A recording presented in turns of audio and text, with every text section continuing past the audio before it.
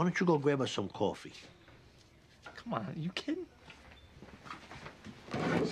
Better yet, go to the ear, nose, and throat department. Get your hearing checked.